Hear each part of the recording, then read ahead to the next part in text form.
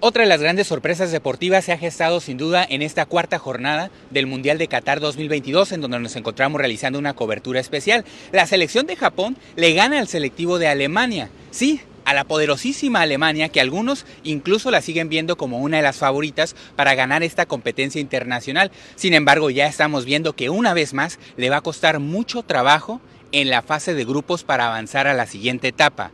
Pero para la prensa internacional que nos encontramos aquí reunidos, mucho de la nota se la llevaron los jugadores de Alemania que desde antes de iniciar el partido, en la toma de la fotografía oficial del equipo, decidieron como un gesto simbólico taparse todos la boca. ¿Por qué lo hicieron? Básicamente para expresar su manifestación en lo que dicen es coartar su derecho a la libertad de expresarse. ¿Por qué surgió todo esto? Porque ya desde antes habían anunciado los capitanes de varias de las eh, escuadras, sobre todo europeas, que portarían este famoso gafete arcoíris o gafete de la inclusión para tratar de darle voz a todas aquellas personas que tienen una preferencia sexual diferente a la heterosexual y que es una situación que está penada en esta región de Medio Oriente, particularmente en Qatar. La FIFA no estuvo de acuerdo y le prohibió a esos jugadores, a los capitanes, portarlo.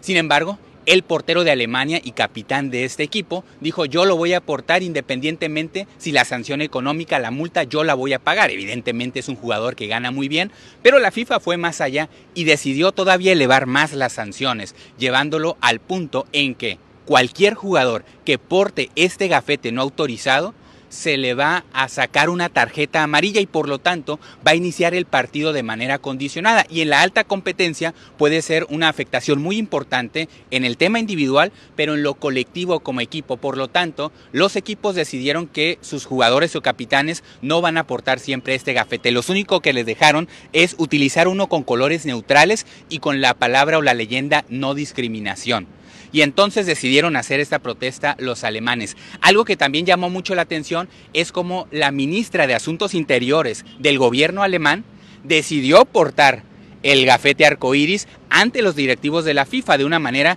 que ha sido por lo menos catalogado entre algunas esferas sociales como algo muy valiente políticamente hablando.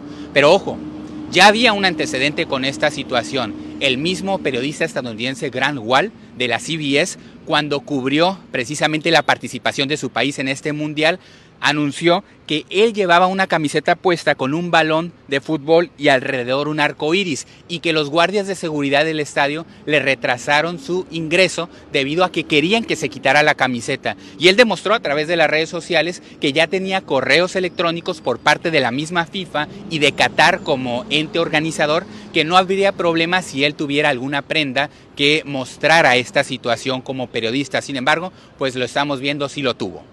Ahora, esta es la situación que está ocurriendo y por lo cual se da esta noticia. El tema sobre la mesa es, en este tipo de competencias deportivas, ¿se vale este tipo de expresiones sociales de diferentes índoles o se deben los jugadores concentrar únicamente a lo futbolístico? ¿Ustedes qué opinan?